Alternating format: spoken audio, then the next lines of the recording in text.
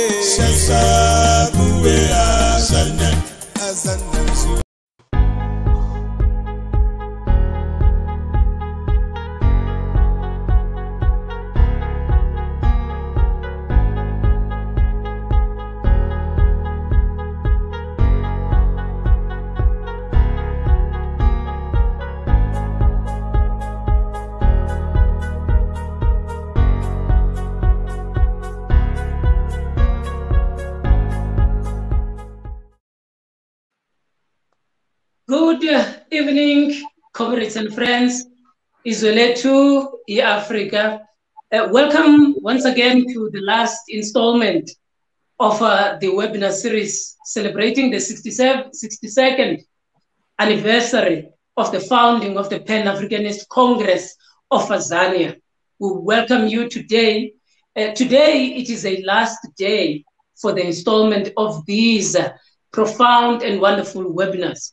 We welcome our viewers on YouTube, welcome our viewers on Twitter, and we welcome our viewers on Facebook. Tell those ones that are not listening that we are available on my PAC Online on these three social media platforms. Today, colleagues and friends, comrades and revolutionaries, viewers at home, uh, in, the, in the continent, and in the diaspora, we are going to be discussing a very important issue uh, that relates to democracy and our understanding of democracy in various ways.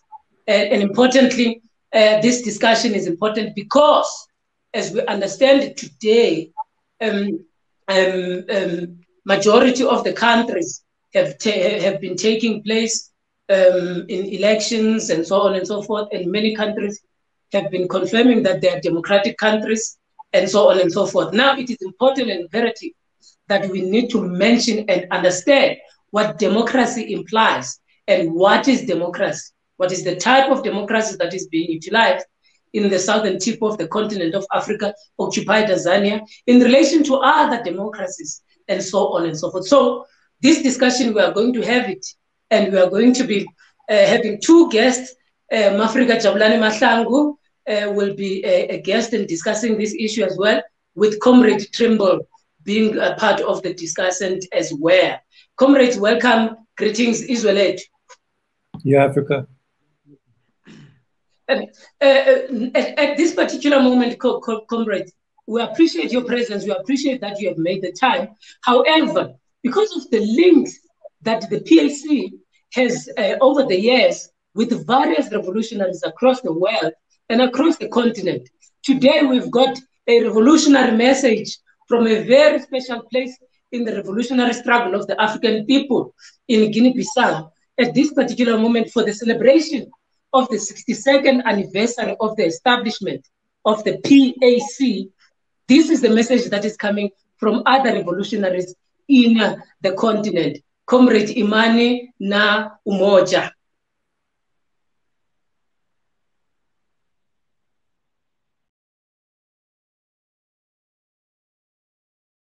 Revolutionary greetings, our comrades, brothers, and sisters of the Pan Africanist Congress of Azania. Isweletu, E Africa. E Africa, Isweletu.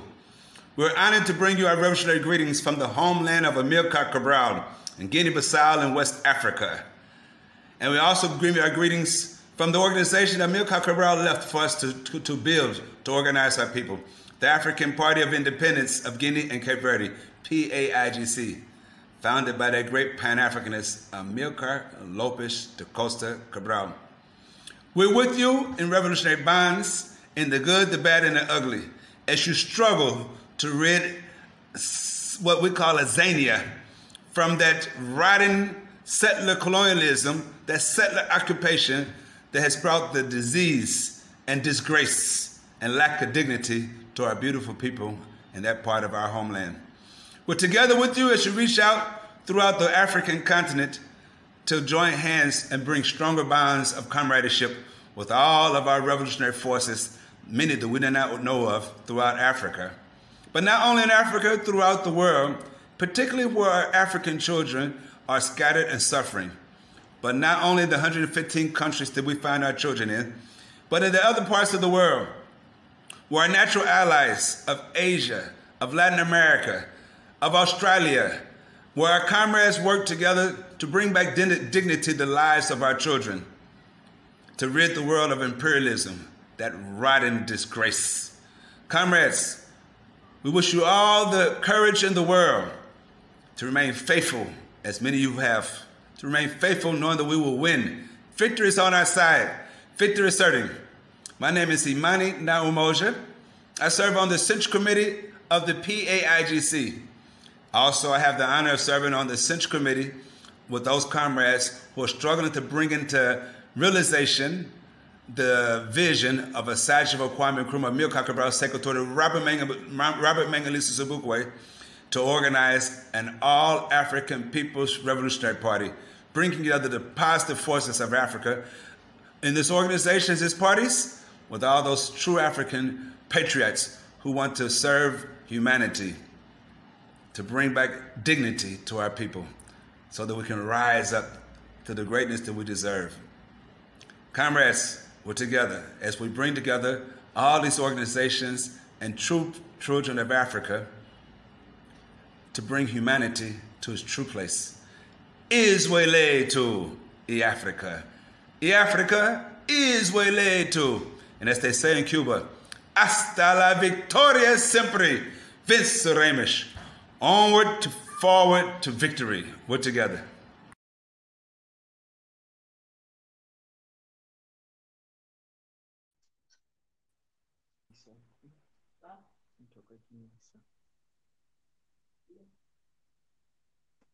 Thank you very much for that message from Guinea-Bissau, a revolutionary message coming from Imani na Umoja in the PAIGC. For those who might not have been aware that the PAIGC, as the Comrade Imani has mentioned, is a party that was established by the revolutionary uh, Amilcar Cabral in Guinea-Bissau to the Africanists in the, Afri in the Pan-Africanist Congress of Azania.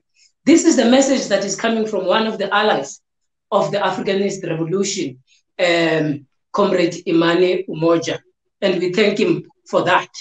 Um, colleagues and friends, viewers at home, today let us jump into this very critical and important discussion that is uh, that is uh, talking about democracy. And I'm going to refer to some few writings of different authors and different um, uh, uh, scholars in various elements. Those who speak about um, the, the, the type of political democracy or the type of political dispensation that they are looking into at the, at, uh, as a governing structure. And I refer to one of the speeches uh, by Mangaliso Sobukwe when he speaks about um, uh, uh the PAC case. And he is saying, and I read, he says, politically, we stand for government of the Africans, for the Africans, by the Africans, with everybody who owes his loyalty only to Africa and accept the democratic rule of an African majority. Being guarded or being regarded as an African. This is the beginning of, of how Sobukwe and uh, his, uh, his colleagues understood what it means or what is the type of political um, uh, uh, foundation that they would like to see in occupied Azania. And this they have said it in 1959 when they were establishing the Pan Africanist Congress of Azania. Now we go to the side of the West, and some of the scholars there in the West uh, into how they define and understand democracy. And one of these scholars is um, Adam Swift, uh, who is a political philosopher. And his understanding is that um, de- he says what democracy is the rule of the people by the people for the people. And he says this definition is coming from the United States President Abraham Lincoln. And he says this is a good way to understand democracy, as long as we are clear that it's the by the people bit that is important. So he therefore says all systems of government are going to be government of the people. It is the people who are being governed. So on the basis of um, the, the, the, the uh, by the people, according to him, it is the people that are being governed that defines what um, um, uh, part of democracy, what it is. And further on, he speaks about the degrees of democracy. And this is the Western notion and the Western understanding because it comes from uh, uh, Northern America. And he speaks about four, four degrees of democracy. One, he talks about the direct or indirect uh, democracy. And then uh, the indirect democracy, he therefore speaks about uh, representative democracy. And then the, the direct democracy, he then speaks about one of the systems that is normally utilized in the cases of um, memorandums in the United Kingdom and the USA sometimes, and uh, in other countries as well. And then, two, he talks about accountability uh, uh, democracy, that is, accountability of representatives. And this point, he is talking about let us assume that there is a representative democracy, like what we understand in the type of electoral, I mean, democracy that is being presented in South Africa uh, uh, at this particular moment. Then he talks about the equality of opportunity influence, that is um, a democracy that looks at the aspect of trying to build an equality of opportunity. What opportunity is that is another issue, but it is uh, the third aspect of the degree that uh, uh, Swift is referring to. And the last one, it is um, the scope with which that particular democracy is, uh, is referring to. These are one element of um, uh, some elements of, of um, democracy as understood by Pro- Professor Swift. Coming back home, we've got um, one of our own, the great um, author, an Africanist, a lawyer, and a historian, uh, Dr. Motsoko Pheko. And um, he says, and, and, and I want to raise this because um, in the previous text that we have looked into, we have looked at four degrees or four elements of understanding what democracy is. And for him, he says, um, the politics of liberating the poor, the powerless, and the working class is being replaced by the politics of greed for power instead of service delivery and lifting the standard of living in South Africa. He therefore further says uh, leadership is a responsibility to serve the people, not to bully and abuse them. For Ntate Pheko, servants are the servants of the people are men and women who are not for sale and refuse to be bought for any price. And um, uh, this this is important because he he he, he he's talking about in, in, in this text about um, um, a liberation democracy. He he he refers to that the type of democracy that is required in occupied Azania, that is South Africa, it's a liberatory democracy. That is a point that I wanted to bring across to the viewers at home as well. Lastly, I'm going to refer to um, Dr. Sizwe Walsh Mpofu, who talks about um, some few issues in relation to how South Africa has, uh, has fared thus far in relation to understanding or in relation to democracy itself. Considering that the discussion is about democracy versus democracy. Now, he says, Two decades of rainbow mythology have soothed South Africa into a state of chronic complacency. We were sold a lie that the vote would resolve our country's fundamental problems. If we only had the patience to wait.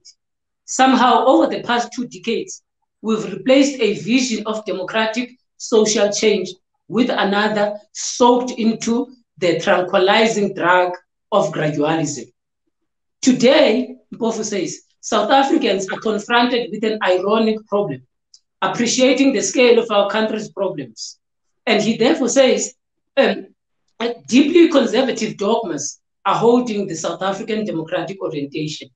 Confusingly, these dogmas and these creeds are draped in the language of liberation and non-racialism and prosperity, while serving the interests of the narrow, narrowest elites in occupied Azania and South Africa. That is my inclusion. This is the introduction that I want the viewers and the speakers to have at the back of their mind when I'm when, when we're talking about this, because there are various understandings of what democracy is. And today we are going to be engaging on that particular matter. Now let us introduce our speakers uh, in the form of um, Comrade Jabu Mahlangu. Jabu Mahlangu was here with us at the beginning of this session, and he's a son of the soil and an entrepreneur, and also a continuous revolutionary student who has been baptized within the Africanist thought and the Pan Africanist Congress of Azania. Comrade Mahlangu is going to be taking through us 15 minutes of his presentation and uh, in relation to democracy versus democracy. And uh, let us hear what Comrade Mahlangu has got to say. Izwe lethu Mafrika Mahlangu. Africa, Africa. Uh, you can you can you can start your presentation, Tony, and greet the viewers at home. Thank you. Good evening, uh, leaders and uh, Pan Africanist followers. Uh, I, I, I'm, I'm glad to, to talk about democracy versus democracy this evening. Uh, so much has been in the introductory uh, portion of this discussion, has been said already by yourself, uh, Comrade Tando. Uh, I'm going to refer to some of the things that you have said, the, the groundwork that you have laid in terms of what, what, what is going to be discussed this evening. One, when you talk about democracy versus democracy, it's a very important question. This is the kind of question, Comrade Tando and all uh, comrades at home, this is the kind of question that uh, should have taken place in South Africa before 1994. Last time or last uh, previously when I spoke on this same program, I had said some important things when I spoke uh, during that time uh, previously. Among other things, I referred to Afrikaners, which I still want to refer to today.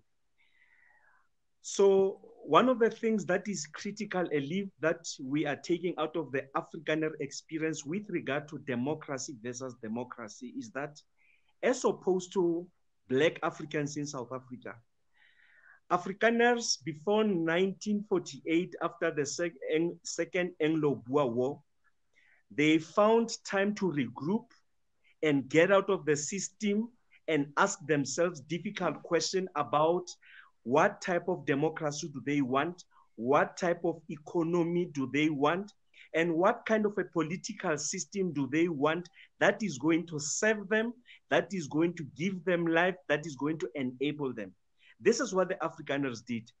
They needed to do that because, firstly, they needed to detoxify themselves of the British poison of colonialism.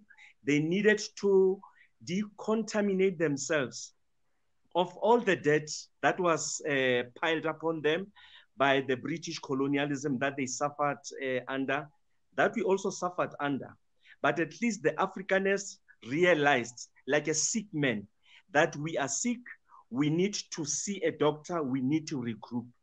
Whereas with Africans in, two, uh, in 1994, after the democratic elections, we never had time to regroup and say, what type of democracy do we want?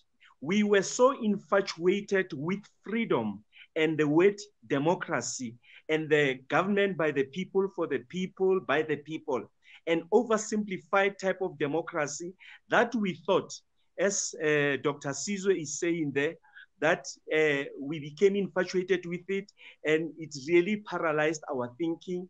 We could not really think straight and begin to be critical of certain things that are happening in our lives.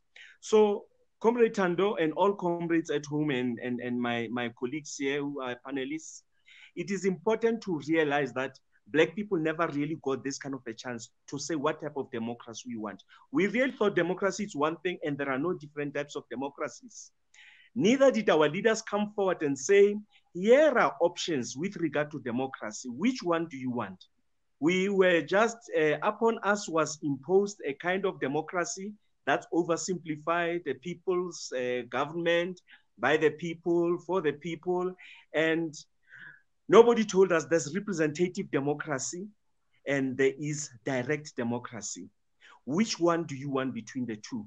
You spoke about uh, direct democracy, uh, Comrade Tando. It is interesting to know that there are countries such as Switzerland, which have the system of democracy that's called direct democracy. A system where people do not have to depend upon the, the, the parties or even their representatives in parliament or in legislature to bring about changes to the constitution. A system where the people can gather together, can get into a referendum situation, can, can, can, can petition uh, for changes that they feel they cannot wait for the change of government to take place. This is important. It is the type of thing that is missing in our democracy, the democracy that we have we've been so in love with, but the democracy that is not giving us life, the democracy that is not encouraging the participation, the direct participation of the electorate, unless it is during the time when the people must vote. And that is why we are stuck with politicians who have used that particular absence of function of that uh, democracy that we don't have. To, to use people and only talk to voters on the eve of the elections because they know in between the elections, there is nothing that much that the voters can do that direct democracy usually encourages or gives platform for people to, to, to express their unhappiness and to perhaps seek to change the status quo or whatever uh, conditions that needs to be changed. So uh, in short, uh, Comrade Tando and all other uh, viewers at home, it is important that we must appreciate that we never had a chance and we came in here and we were excited about democracy. We never interrogated the word democracy, the type of democracy which were being given. Robert Sobukwe, the leader of the PAC in 1959, spoke about this he went into great detail to speak about African uh, de a democracy that is defined by the African values uh, or value system. That's important. That's telling of a, of, of a person like Robert Sobukwe. He was specific and saying certain things. Robert Sobukwe was talking about the democracy that must serve the African people. The kind of democracy that we have here has gone against the grain of the African personality. Exactly what we were talking about a few days ago when I was uh, addressing this particular matter. And back to the Afrikaner, the Afrikaner made sure that he is at the center of the development of his people. He made sure that he controls language, he controls industry, he controls all sorts of resources that are necessary for his development to take place. And all those things that he controls must be influenced and flavored by Afrikaner nationalism. And that is why the Afrikaners were successful in what they were doing. They were not trying to please the English. They were not trying to please America. They were not trying to please the Chinese. They were doing their thing in their own time, on their own terms, and at the speed defined and determined by themselves. That's where the centrality of their uh, Afrikaner person comes in, into their democracy. Our democracy, it's a democracy, as I've said previously, uh, that is not uh, that is not anchored by the African personality. That's why African people do not find much value now out of this democracy, especially after the kind of experiences uh, that we have uh, seen over the past 27 years uh, in terms of our political administration, where you see selfishness and there's lack of selflessness. Politicians are in this for themselves and not to serve the people. And there is no there is no practical acknowledgement that black people are suffering most and have suffered most now, especially since 1994. The poverty levels have increased, uh, and the people who are supposed to be the target beneficiaries of, of empowerment or of being lifted up because they were economically excluded and downtrodden. They are the same people who cannot benefit because now the political administration is, is also competing for the same favors, for the same opportunities that should be going to the majority of the people. And that's why uh, it is important, Comrade Tando, as we talk about democracy versus democracy, that we can say perhaps the brand of democracy that was gifted us in 1994 should be reviewed. We, we, as South Africans and as Africans in particular, we must say perhaps we need a direct type of democracy that can uh, allow us not to wait for four or five year terms to come to an end before some changes can happen. We need to have a democracy that can enable and empower us as the decent, as, as, as the downtrodden, as the impoverished people to say we can gather together, we can use uh, things like petitions, we can use referendum, we can use assemblies and other means that are available within the, the, the, the direct uh, democratic uh, space to effect changes without really waiting too long. I mean, uh, Dr. Sizwe Mpo, Mpofu say, said something very important. He spoke about gradualism. It is the kind of democracy that we are into, kills our sense of agency. I mean, Comrade Tando and everybody at home, we are 500 years out of the game of life. We have been excluded for 500 years for taking effective ownership of our lives, for making decisions about our lives, for actively taking control of our lives and changing our lives the way we were, we were in charge of our lives prior to the arrival of the settler uh, uh, population in South Africa.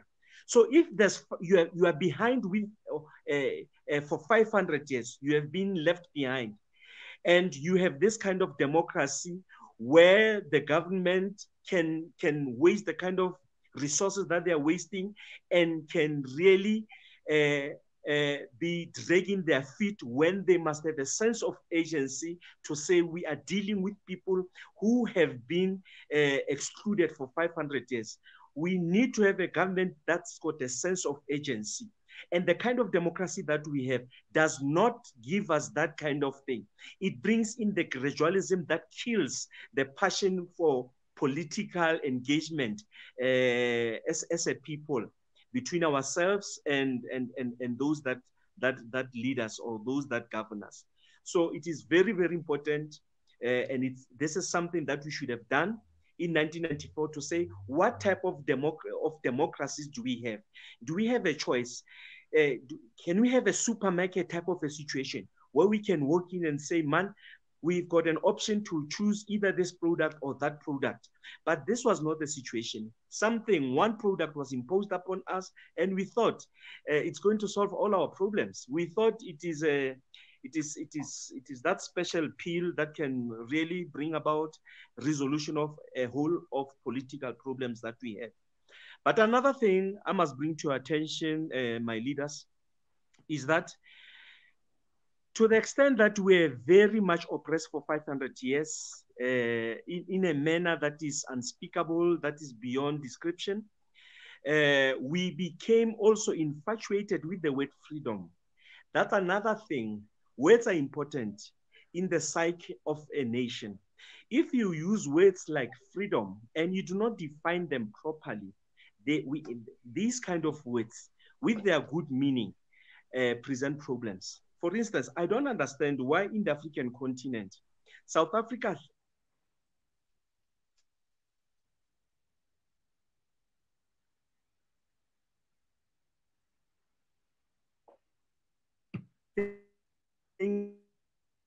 are talking about uh, when it comes to the day in which they liberated themselves from whichever colonial uh, occupier of their country was. So, if you look at the word freedom and you mix it with democracy, it's a dangerous concoction. It is the kind of thing that made people to say, let us give up our, our power to hold the, the, the, the, those that lead us accountable. Because we thought we were free, we thought we have a democracy, then activism came to a standstill. We thought that it is now wrong of us to become activists like we were activists during apartheid and before apartheid. And everybody gave up their power, everybody went to mind their business, and God for us all now, or the government for us all. But that was a very big, serious lapse of concentration on our part as a people. Uh, the word uh, freedom has also caused lots of problems for us, as I have said. Uh, I think there were better, there, there was a better word, which is this word independence. Perhaps if we had also introduced the word independence, the 27th of April, if we had called it the day of independence, maybe it would have it, it, it would have put some some some question marks in our in, in our minds as a nation. Who are we becoming independent from? What are the responsibilities of being independent? And all sorts of things that go with independence. You cannot be independent and yet you are being fed by the person who formerly oppressed you, who formerly colonized you. You still buy food from him. He still uh, uh, produces uh, food security is, is, is his problem. Food security is in his terrain. You are the one who's asking for food from him. But on the other side, you are behaving like a free person, you know. You think freedom is behaving uh, uh, free, doing all sorts of things without thinking, without having responsibility to do certain things. So, in a way, our democracy became intertwined with the word freedom, and we lost a whole lot of value as a people. And this is something that uh, we should interrogate going forward. And these are the kind of things that a leadership that looks like Robert Sobukwe's leadership, unfortunately, we lost it we are we are we are staffed of a leadership that can introduce words and words that can really give us some shape as a people. That's a problem. That's the tragedy of our times in modern and in modern south africa. We lack leaders that can give us words words that give us direction that give us form and shape as a people. And that is why when you look at also the democracy the democracy must be informed by nationalism you cannot have democracy that is uh, abstract and vague. That is another problem. And that is why Robert Sobukwe gave our democracy, qualified our democracy. It is not just democracy, a, people, a, gov a, a government for the people, for the people, by the people. He said it must be a government of the African people. That creates about a majority where majority decision making is that of Africans for the service and for the welfare of Africans. That's important. Now, ours, it's another democracy, the democracy that you inherited from 1994, the democracy that is actually troubling us. And that is why we have people who lack the interest now to go and participate in elections because the democratic elections brought about by this democracy uh, in contrast to how people feel that they are not being properly served. And that's why we say people have lost the uh, interest or are, are losing interest at a greater speed uh, to participate in constitutional democracy where we have to, to be voting for new parties every four or five years. The previous elections uh, bear testimony to what I'm saying. The people stayed at home. They said, this is no longer our thing. It's something that benefits those that are in power.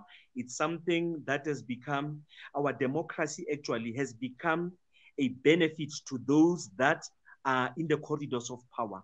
It is not a democracy which is saving us. That is what is coming out of this whole thing. But because our people have not been introduced to other forms of democracy, nobody told them that there are other types of democracies.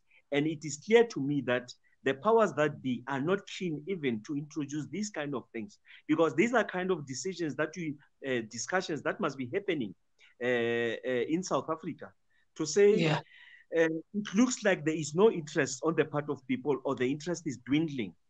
Yeah. Uh, are you aware that democracy has its different shapes and forms? It has its different Uh, options. mm. Uh, okay, okay.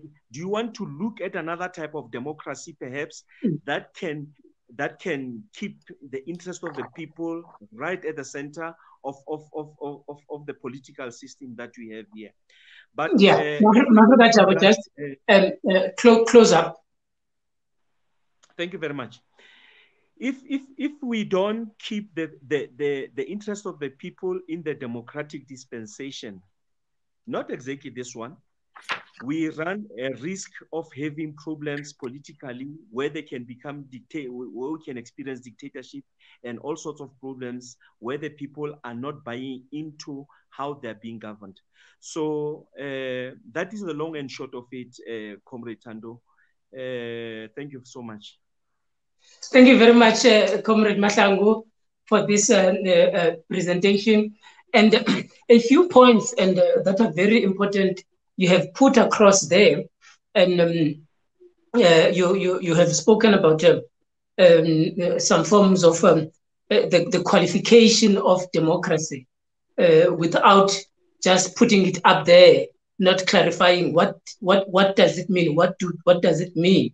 And therefore, also, I, in, in part of your of your submission, there's something that um, you, you you seem to be pointing out to say that the current approach, the current democracy as we understand it today in occupied Azania, is that it is not liberatory. It is not speaking to these forms of uh, of, um, of, of, of, of, of liberation or even of independence uh, that Ntate Pheko is talking about. And, and also at the same time, you are, you, you, are, you are making a claim about people were not given uh, the chance to decide on the type of um, uh, democracy that they, they want. And uh, historically, uh, this uh, the, the, there is, there is a, a fact that uh, says there was a representation, there was a group of people who were put into these discussions to represent the people without them, people giving them a particular mandate to say, this is the type of democracy that uh, uh, we, we, we want. And I can tell you now, and I can tell the viewers at home at this particular time that in the in during the, the, the, the period of, uh, of the negotiations, I have went into some of the archives of the PAC, and there has been a constant uh, submission by the Pan-Africanist Congress of Azania in that period to say, allow the people uh, uh, as assembly, because the people will be the ones who are going to determine the type of constitution and the type of voting, including the electoral process that must be made. I'm putting that to the viewers so that if there's anybody who disputes it or wants to engage it further, uh, they could. But also, lastly, before we go to you, Comrade Trimble, um, some scholars are saying that the type of democracy, they no longer say it is a it is a it, it, it, it is a sellout democracy. They say it's an elite compromise democracy because you can point to a few people that were the masterminds of uh, the, the, the, that particular um, democracy. Comrade Trimble, um, your 15 minutes is starting now. Up to you, comrade. Welcome. Uh, Greetings, Israelite. Easily too. Africa. To start by uh, thanking uh, the host, uh, the host organization, our PAC, and the audience. I'd like to start by indicating that democracy is impossible under capitalism. And that is the problem that we're faced in most of the world. That's certainly the problem we're faced in occupied Azania. So it didn't matter that we got to vote in 1994. As my colleague and Conrad Jabulani pointed out, we see that the inequality has actually increased. And why is that? It's because we're in a capitalist system. The ownership of the means of production are still in the hands of those few. And this is irrelevant to the fact that we have a vote. What has happened is that capitalism dominates all of the institutions that we have, including the electoral process. It dominates uh, the media, it dominates the educational system. And in dominating the media and the educational system, it has put forward a lie in terms of what it claims democracy is. There are three things that they constantly are talking about in terms of democracy, particularly with presidential elections. One, they talk about term limits. Two, they talk about uh, this, this notion of a multi-party system. And they talk about how not only, uh, they talk also about the periodic elections. So in other words, every four or five years, you have to have an election. And two, if you go more than two terms and somehow you're a dictator, and they have to have a multi-party system. This is a very flawed system because it is not at all linked to the economic reality of countries. So what we have is we have multi-billionaires who are actually running the country, whether you're talking about occupied Azania or whether you're talking about France or the UK or the US. And what happens in this electoral process is that in order to run for election, you must have a massive amount of money. And where does that money come from? The money comes from those capitalists that you actually end up doing the bidding for. An example, this last US election, they spent $14 billion, 14 billion US dollars on the election. This is twice what was spent in 2016. And this was financing parties, candidates, and who do they owe their allegiance to? They owe their allegiance to the capitalists who funded them. The last South African elections, two billion rand was spent. A billion rand spent by the ANC, 600 million rand spent by the DA. And you can see what's left was divided by a range of other parties. So you wonder why we have the parties in power that you have? It's because of this electoral process. But instead of us understanding this sham, somehow we're told that because we get to go to the ballot and we can choose between any number of these parties, that this is democracy. This is what we call participatory democracy, not genuine democracy. So it's important to understand that. The second aspect of what happens with this uh, party system and the so-called democracy is that special interest groups play a serious role in terms of of of, uh, of what goes on in terms of elections. We see now this whole Zondo thing in terms of indicating uh, the role that Gupta's family played in terms of a special interest, really. What's more insidious, the most insidious special interest group that we see globally is the Zionist movement the Zionist movement. We see that both here, and if you followed the papers recently, uh, was it Tony Leon who put his book out and he was talking about yes. how yes. they need to operate with Israel? And then somebody countered that uh, with the argument. And then you saw the slew of arguments coming into the media that some, for some reason, uh, the newspaper felt compelled to post. And it was the Zionist movement that had orchestrated this. So I think we need to be aware of these things that are really not at all related to true democracy. The one party system is one of, of the things that they claim is undemocratic. So what happens is you have uh, uh, people like Biden and the US who are now claiming that China is undemocratic because it has a one party system. And they're arguing that uh, this this battle between what they call democracy as a multi-party system versus what they're claiming is authoritarian in terms of a single party system. But if we look at what has the successes that the single party system has, we'll see that it's actually more democratic. I'm going to just give a short example in terms of what happens uh, with Cuba. Cuba is, is largely, it, ha it has multiple parties, but it's dominated by the one Cuban Communist Party. But the campaigning is not allowed. No party can campaign. The elections will take place at a local level, and all you get is one A4 sheet to explain why you should be elected. And these sheets are posted at the post offices and other public places, and the public goes and views those, decides who to vote on locally. The local delegates then vote on uh, the regional, the provincial, up to the national level. As a result of this, the Cuban National Assembly is 40% black, 40% black and mixed, 53% women. And yet the US and others want to claim that this is not representative of the people. There are only three countries in the world that have a National Assembly of Parliament that's mainly a majority women. The majority of the population in the world in each of these countries is women. Only three countries, and Cuba is one of them. So we have to look at governments that really represent the people. And this is reflective of representing the people. We have to, rep- we have to see governments that really can do something for the people. When you have a government like you have here in occupied Azania that does not control the resources, if you have a government in the US that does not control the resources, they are not making the decisions. It's the capitalists that are making the decisions. And if you have any situation where a small minority, less than 1% of the population, is making the decisions, you do not have a democracy. So why do people think the US and India and France and the UK and South Africa are democracies? Because you get to vote. It's participatory democracy.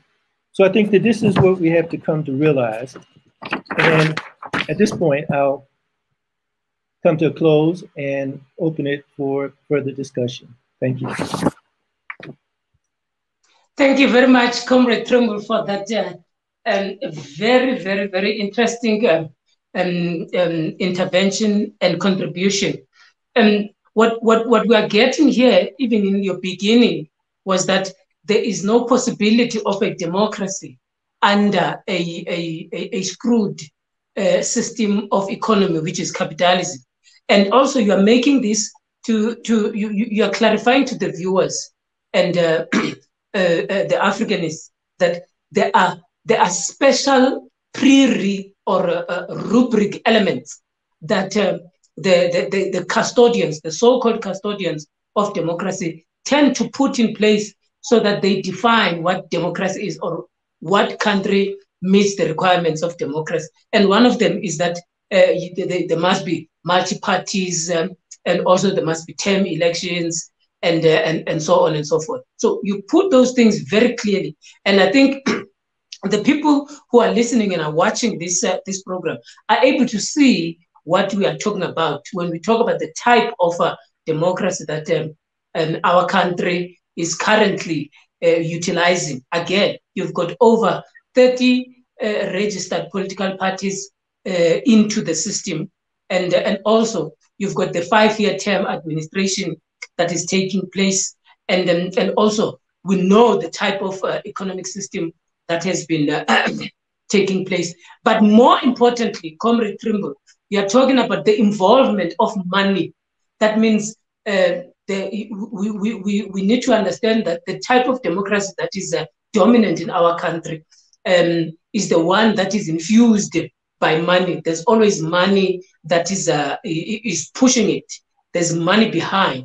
That is why today we've got a big debate about um, um, the statement of a CR17 campaign of a ruling party uh, uh, and a ruling uh, of a president of a ruling party, and how these things um, have, have affected how people understand um, um, elections and so on and so forth. And those who are making an argument are saying by investing in the ruling party's uh, uh, uh, campaign, a particular campaign, it therefore, by extension, links up to the elections of the country, which are going to going to take place in 2019 in the instance of occupied Azania. And, and, and another point that you are putting across, Comrade Trimble, is the issue of interest groups.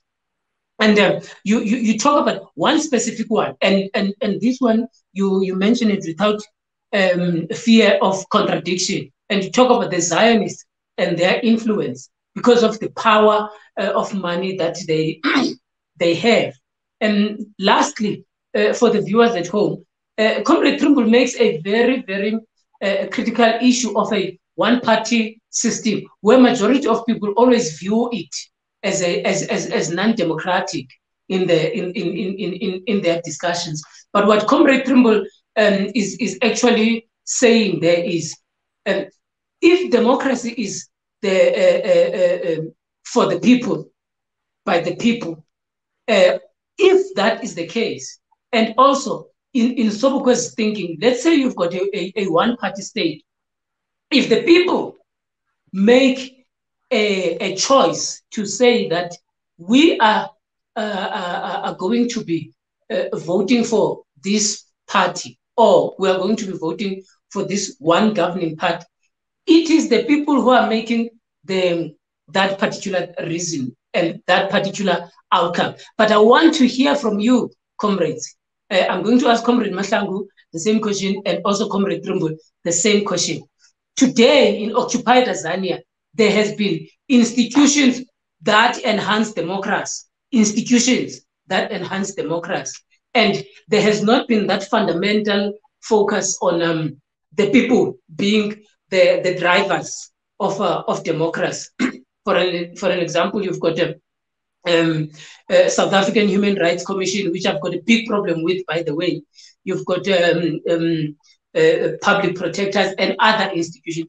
What is your view about this issue of making democracy uh, located into the institutions rather than democracy being with the people so that it can define how the institution must uh, must operate. Comrade Jabu and then Comrade Trimble, you will follow with your answer as well.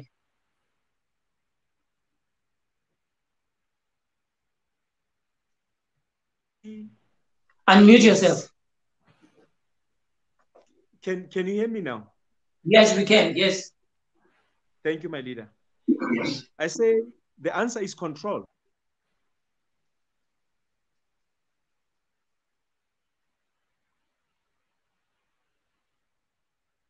Comrade Jabu? This, uh, there's a call that's trying to come here. I'm trying to to to drop it. I am sorry about that, my leaders. Okay, proceed. Yes, I'm saying it's a question of control. If democracy is residing amongst 40 million people, you do not have control. Even if you control the media and their thinking, you do not have the kind of control that whoever finances the political uh, establishment of various democracies would not have control over 40 million people you know now that's why such uh, uh, such institutions such as those that you have mentioned that says they promote democracy, that they are here uh, to ensure that there, there are checks and balances in democracy, there are no excesses, etc.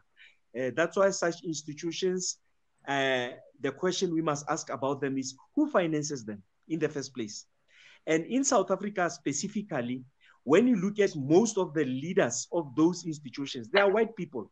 I have a problem that a country that is it, that is majority African, uh, when it talks about its life as a country, because we are talking about the life of the majority here, it is always white people making comments. It's always white people giving uh, leadership in terms of discussion and, and talking about the solutions uh, to African problems, of which they are not part in a manner that they do are not at the receiving end of the hardships and all other challenges that an African is subjected to.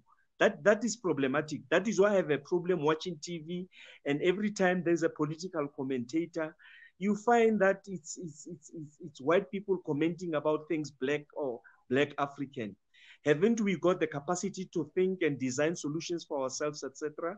Uh, but those are the same institutions that you find that are financed by the people who've got an interest in the political space without being elected.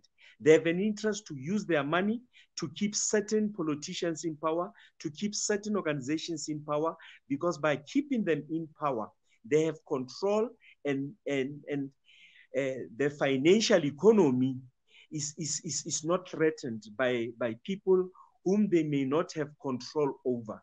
And that is the that is the that's the that's the issue. That's the issue. That's the issue. Thank you, Comrade Mahlangu.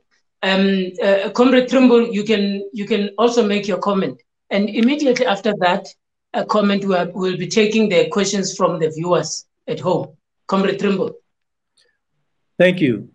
I think the problem is that th these institutions, under the capitalist governments that we see across Africa and most of the world, have no power really.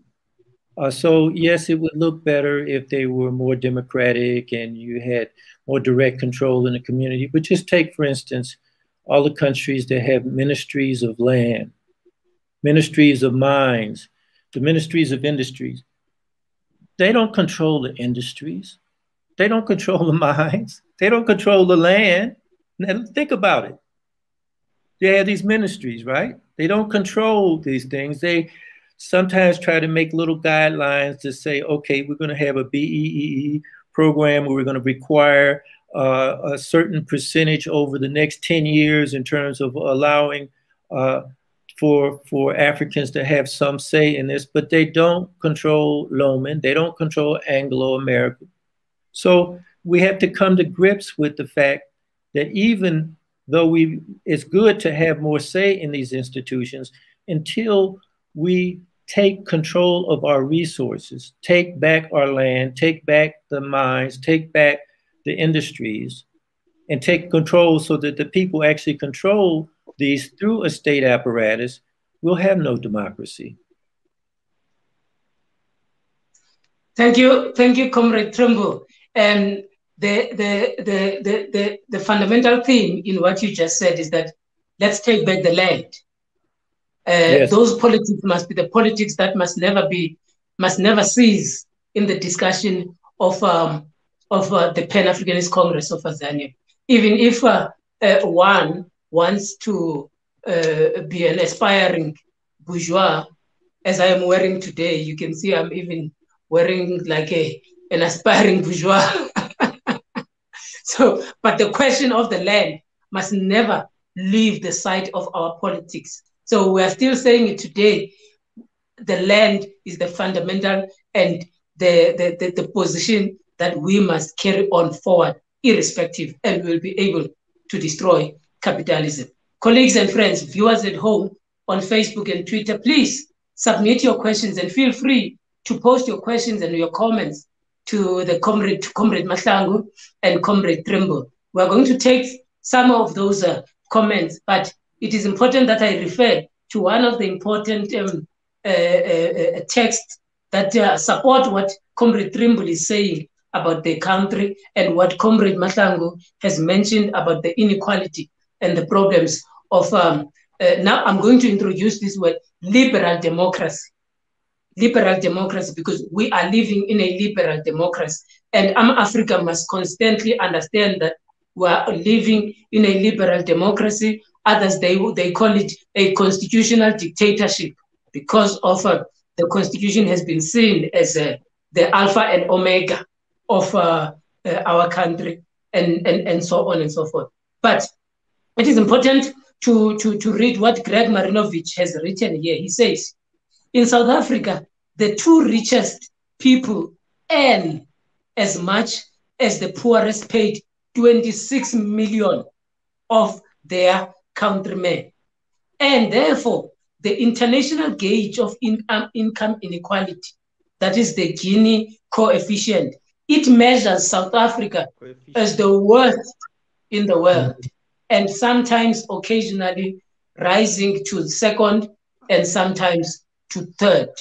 So, yeah. uh, these these are the realities that are, are, are available and that we must uh, begin to talk about. And the next questions are going to be engaging, particularly to this to this issue. But I want to give Ama Africa uh, the time to make their comments and their questions. Can we take the comments uh, from from the from the floor while uh, we we can? And we've got uh, uh, Sivuile Maweni, who is making a comment here or a question. He says, the more money you have, the more chance of winning an election. And I think this is a comment that he is making. Comrade Trimble, you jot down this this this comment. Uh, there is also another comment or a question that is is coming from the floor. Um, but what what Maweni is saying is um, basically money makes elections. That is, make you win the elections. If you don't have money, therefore you are not going to win elections. And this is going to be my, my next discussion point of money and winning elections. Uh, uh, uh, is saying what we have in occupied Azania is not democracy because it even the it, because even the representatives are deployed by the winning political party, not elected by the people. Correctly so, Mtunzi, correctly so, that sometimes we get stuck with the, the type of leaders that we have not elected uh, because the winning political party determines those people. And unfortunately, those people, therefore, will constantly toe the party line. And, and, and, and that is a, a, very important contribution there. Uh, here is another question or a comment that is coming through uh, into the mix uh, for, the, for our discussion. Uh, uh, Sizwe Chikuka says, voting does not equal democracy. The foundation of democracy is masses owning and controlling the major means of production. That is the land, the banks, factories, means of exchange and distribution, masses engaged in political organizations, etc.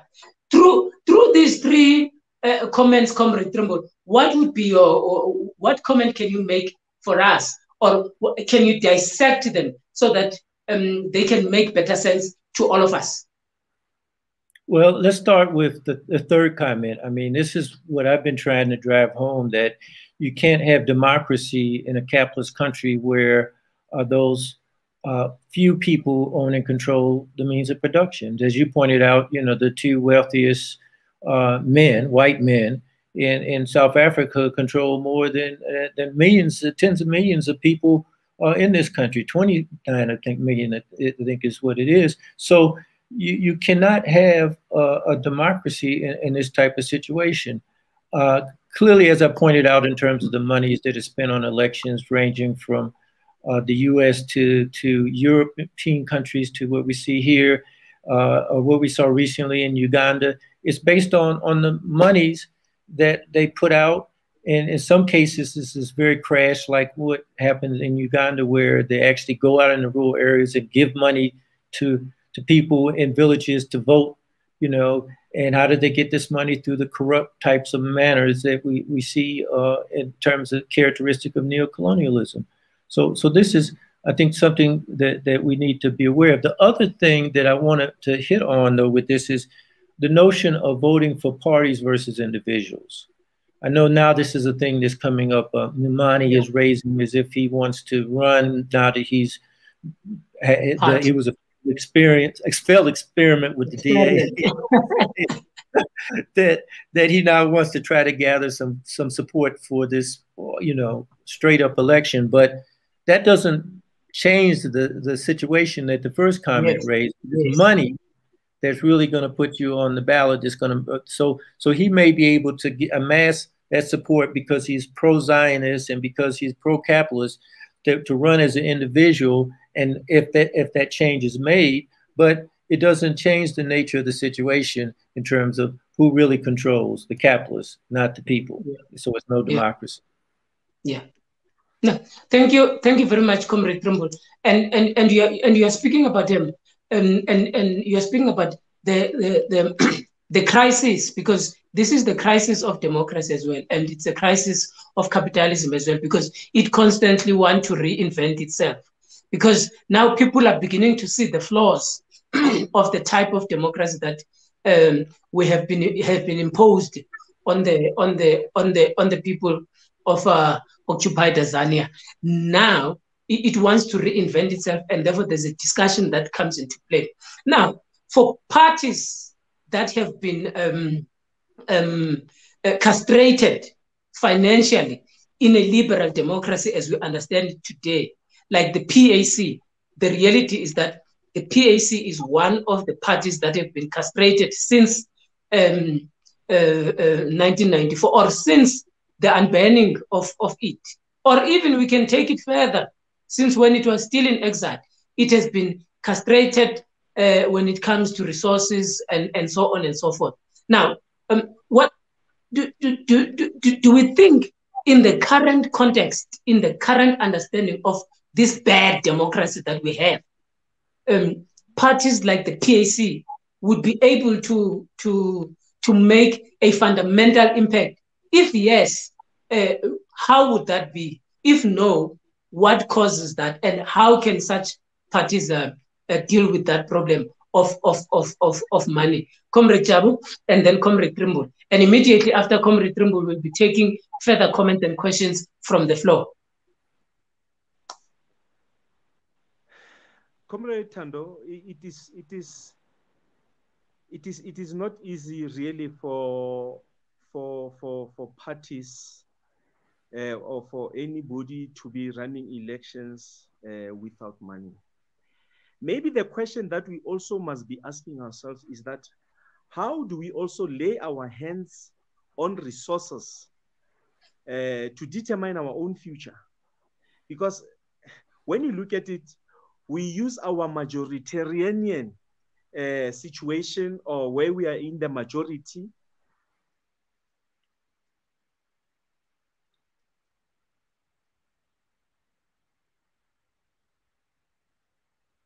Comrade Jabu? I think Comrade Jabu is uh, is experiencing a little bit of network problem there. Uh, Comrade Jabu, can you hear us?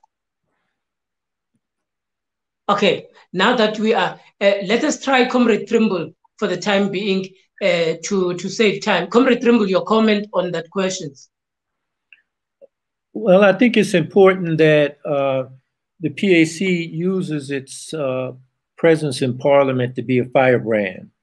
And what I mean by that is they had to be very forward in putting together the positive action campaign, to putting forward the fight for land, putting forward the fight for socialism, exposing Zionism on a constant basis, uh, realizing that if you only have one seat or two seats, it's not going to sway the vote, but you have uh, a, uh, audience a public audience in terms of being able to push the position not only on the parliament floor but uh, amongst the media. And I think that that has to be such that it's uh, that it reaches out to the masses, so that the positions in uh, as a minority in municipalities to a national parliament for revolutionaries has to be one of taking a revolutionary stance and to expose uh, the neo-colonial and settler colonial nature uh, that surrounds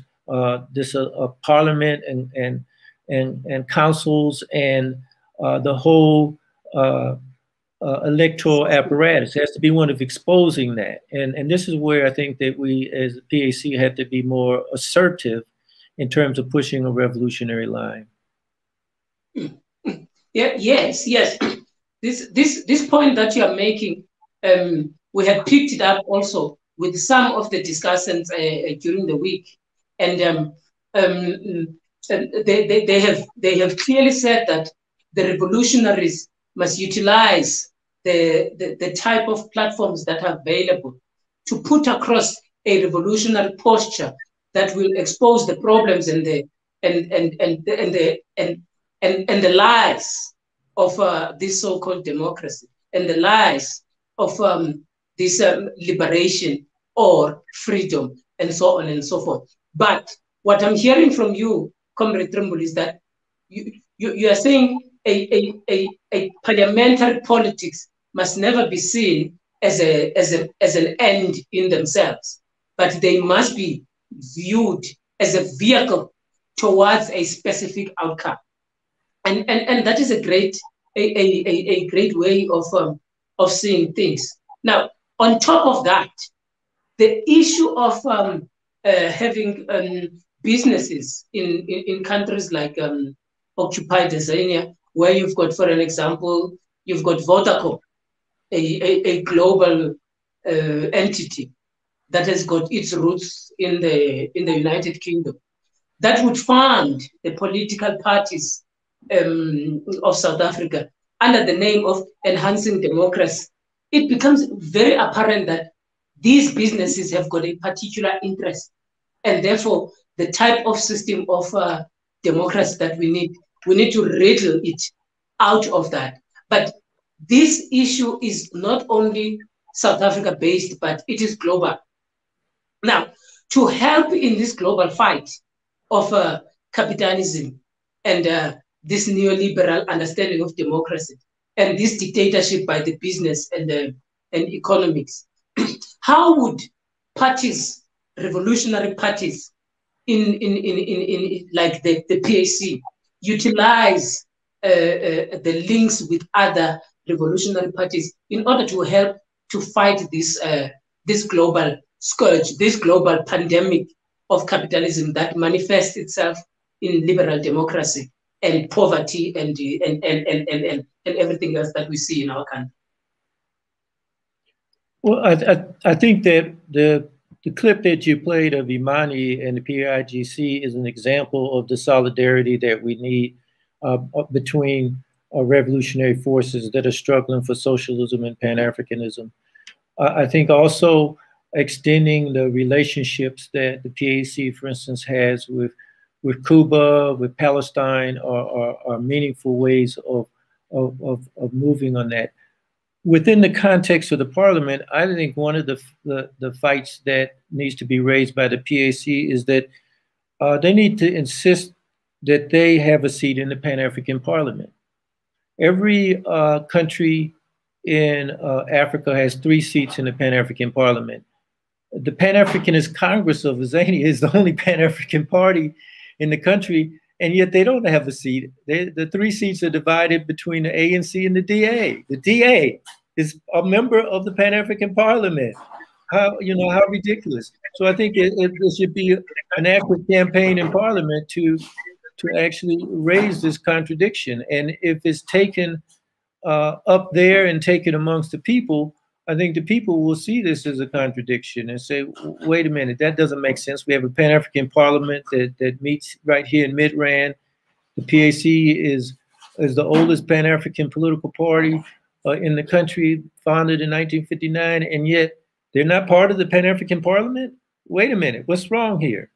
You know, and then that would expose the fact that the Pan African Parliament is really decided by the majority and the dominant minority party. It doesn't mean that any of the delegates, whether they're ANC or DA, have any real interest in Pan Africanism. So, mm-hmm. yeah. this is one of the things that, that can be done. Yeah, no, uh, correctly so. And and the viewers at home must must take this thing along with them because it doesn't make sense to have a Pan Africanist Parliament and you don't have a representative from the Pan Africanist Congress of Azania in that parliament. Comrades and friends, my Africa viewers at home, that is a project that we must take. Uh, there's a comment that we have from Gosi Nodume, and he says, I know that there are two contending types of democracy in the whole world a people's democracy and a bourgeoisie democracy. And the bourgeoisie democracy uh, is what is dominant now. And it is not what we want. We want an Africanist socialist democratic order, which is informed by scientific socialism. and, um, and further than that, there is Melikaya Befili. And he also makes a, uh, a comment there. And he says, until such a time we know as Africans that Africa does not belong to all who live in it. The first thing that we should educate the people of Africa We cannot go to the China and say China belongs to us as Africans, as some Messiah political party uh, should be told that they must not babysit the whites who take the land with the barrel of the gun.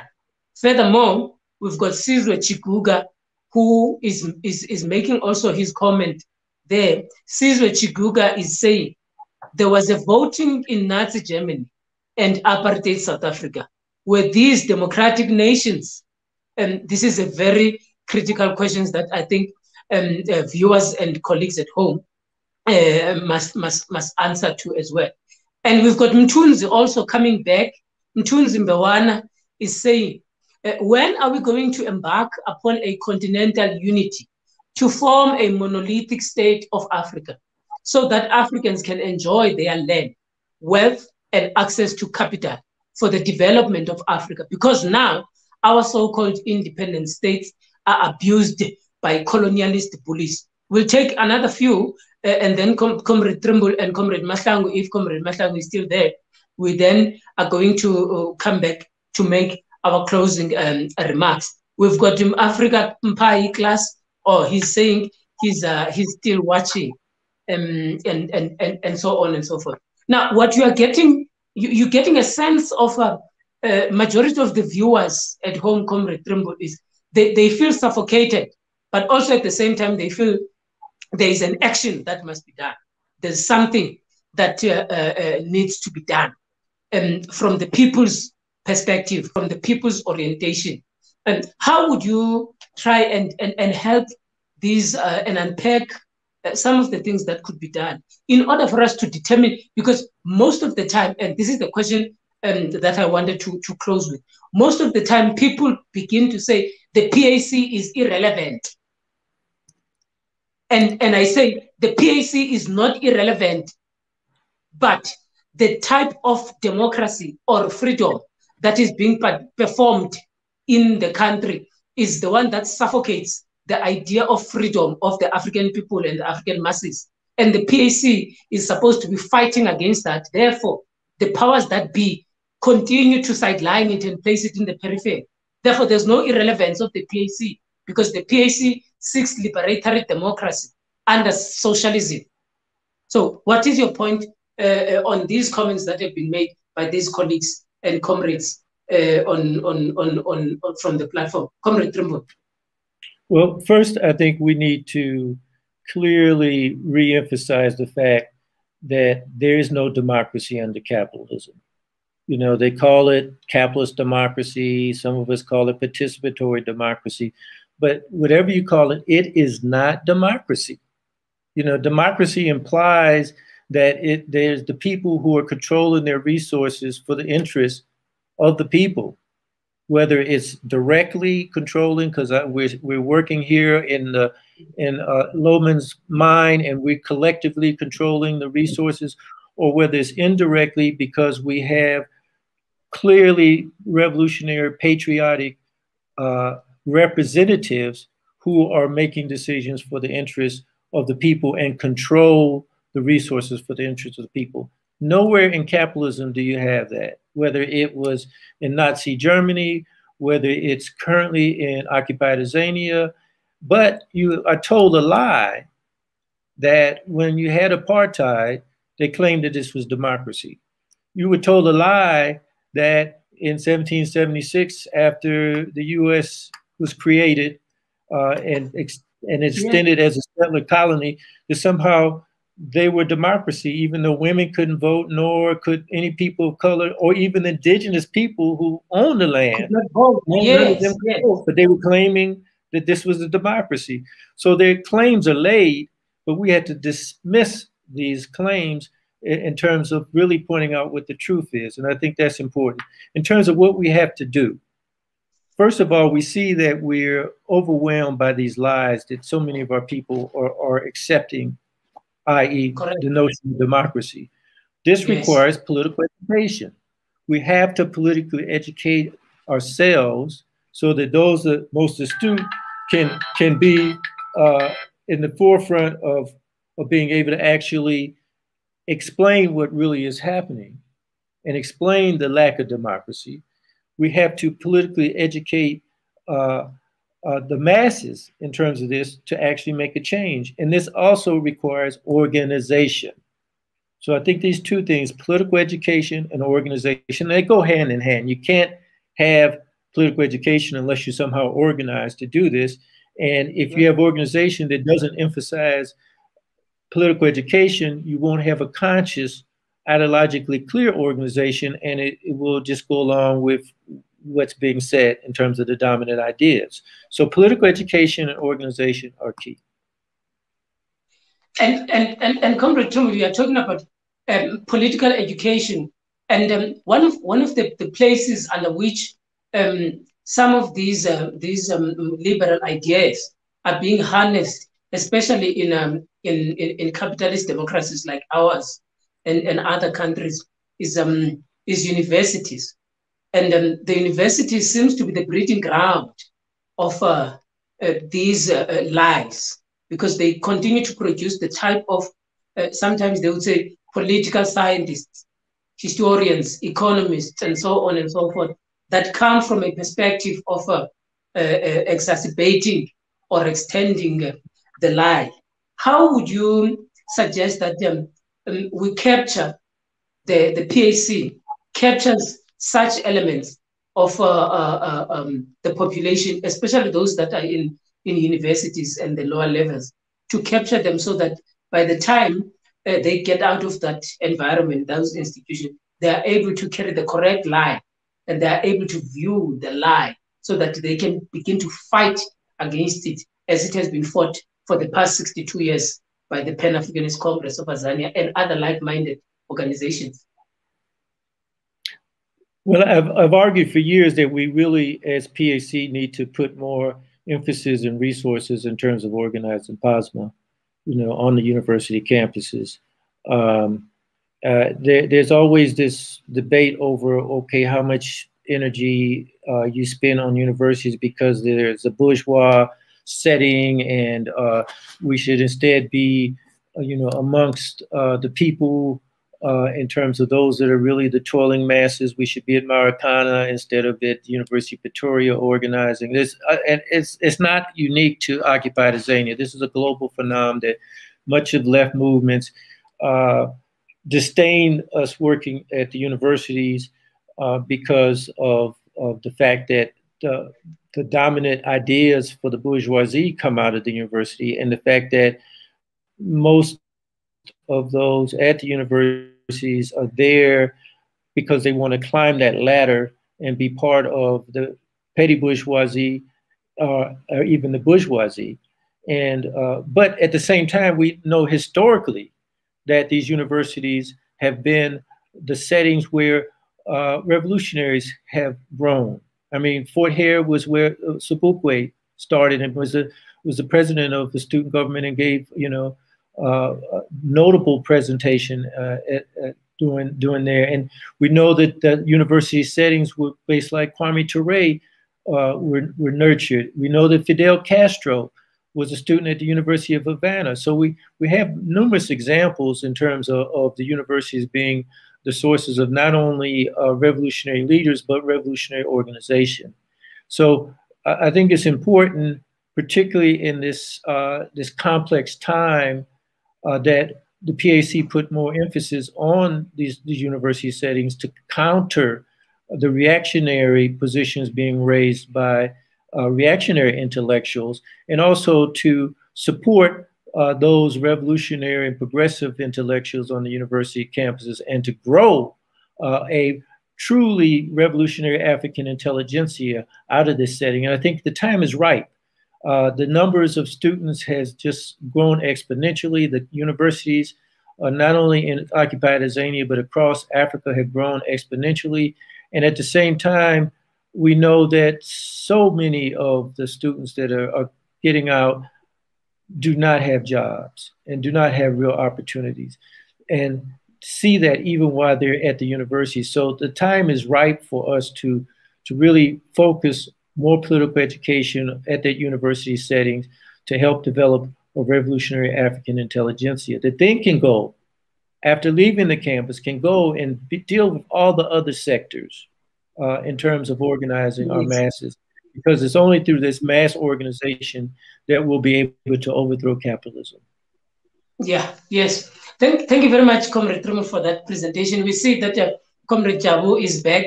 Uh, Comrade Jabu, I think there, there has been a problem with your network and the connection there. I'm going to give you uh, about a minute to make a, uh, a closing remark uh, on, on this. But um, I want to, to, to give a preamble to your closing remark by reading uh, uh, uh, comment. And, and he says, the whole setup of a present leaders should be abolished. Only Africanism should be left to push the continental unity. And that comes after what Sizwe has said in earlier, that Garvey, Nkrumah, Sobukwe, and many others called for a United States of Africa. Continental unity is the minimum goal leading to an Africanist socialist democracy. Give us your parting shot, Comrade Jaulani, and then we will get into the parting shot of Comrade Trimble, and uh, we, we, we, we do the closing remarks. No, no African in his right mind wouldn't agree with that particular statement. The only challenge we have, uh, my leaders, is that when this must be achieved, we need to, to do certain things for this to be achievable. One of the first things we, we need to do is to control media, is to have our own media. The minds of our people are not controlled by ourselves. The people do not understand the Africanist philosophy or the uh, African nationalism. Look at what China is doing. The Communist Party of China is controlling everything from the internet all the way to print media, electronic and print media. They're in charge of that.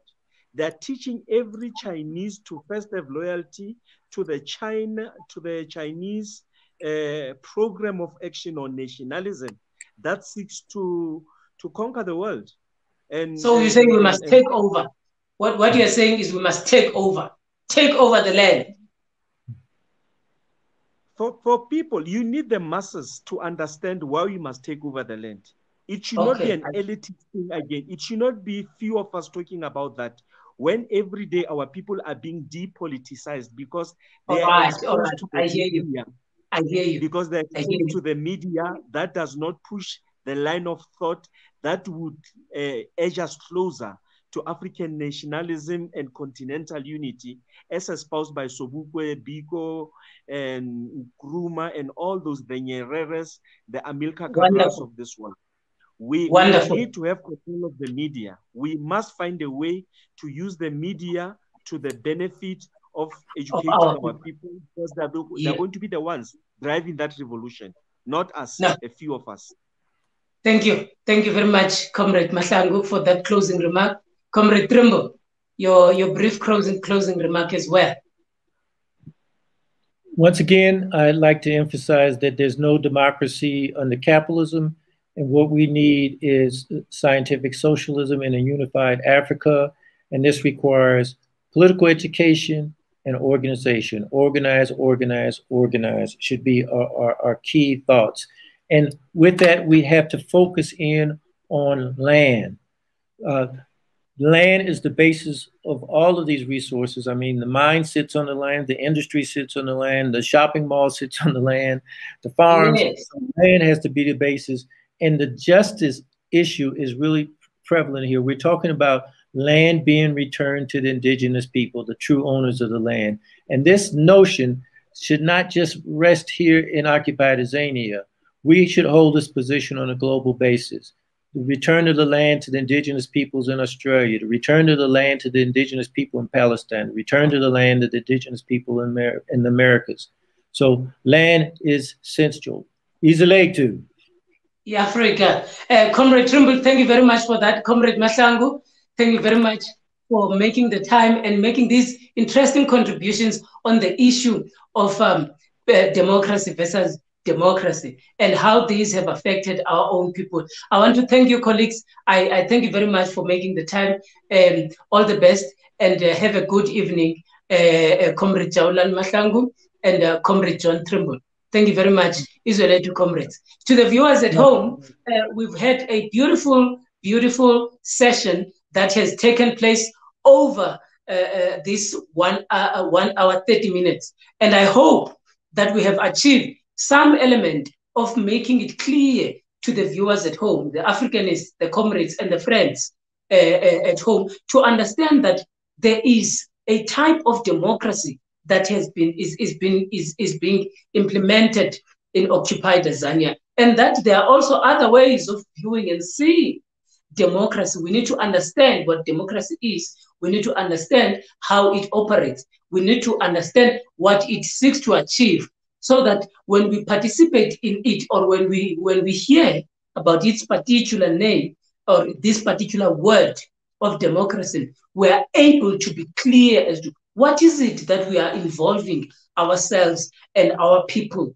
into. But what is very dominant in this discussion is that there are elements that um, make uh, this so-called democracy in our country. One of those elements is money. Secondly, uh, uh, Comrade Trimble says, uh, unfortunately, there is no democracy because there is capitalism. And also, um, uh, Comrade Jabe is talking about the issue of the control of the media and the depoliticization of the people. But earlier, I had made an example of um, what Comrade uh, Pheko, the, the, the stalwart of the PAC, was referring to that we need a, a new type of, of democracy. We need a type uh, that is liberatory, a type that is uh, going to be speaking to the people, to declare people free. That is not freedom. In 1948, the United Nations declared a crime against humanity.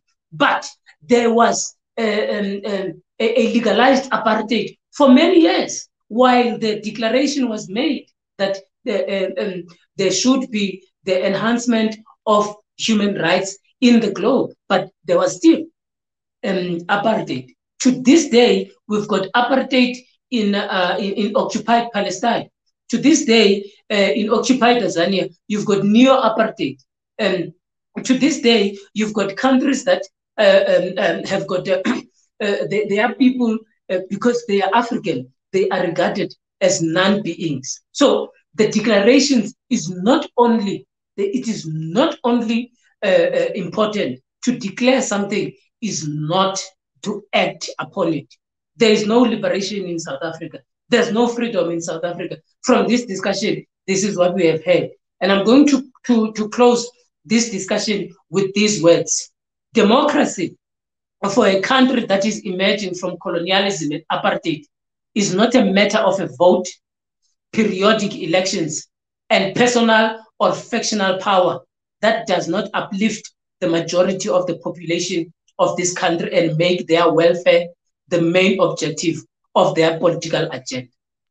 Democracy must be liberatory for the poor economically and socially. The present conditions in the country need political leaders who are committed to a liberatory democracy. We are closing this session with those words from Dr. Uh, uh, Motsoko Pheko, the stalwart of the Pan-Africanist Congress of Azania. We, we're closing it because we started with him and we are closing with him.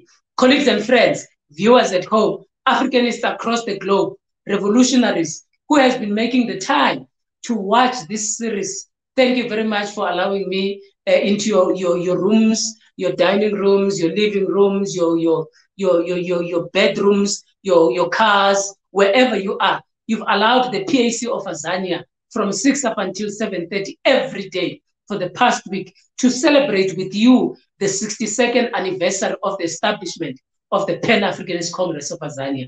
There were few things that we wanted to achieve. Three of them. One, the the linking up with other revolutionaries in the in the in the in the continent and in the world. Two, dissecting uh, these dominant ideas that have been taking place in the peripheries. We try to bring them in the fore and into the public. Three, we are trying to encourage the, the issue of discussion and debate within the PAC. And hopefully, over the past week, we have achieved that.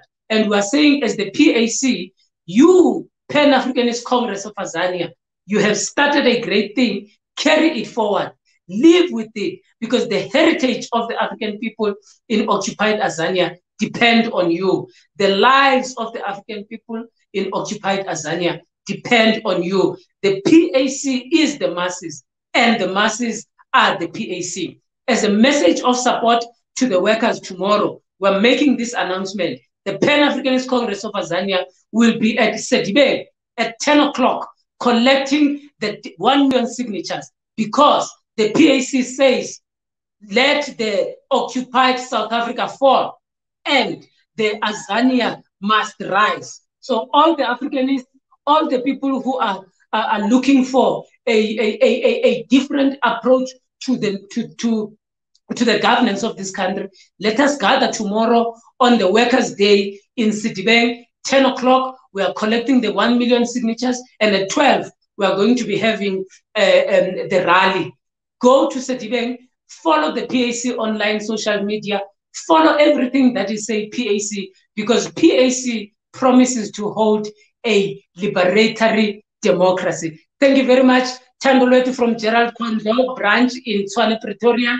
He is appreciative of all that you have given to me, and I hope for the best for all of you. At this particular moment, I want to say to all of you, wherever you are, Izwe lethu, i-Africa, i-Africa, izwe. We are out. Thank you. Bye-bye. Umoya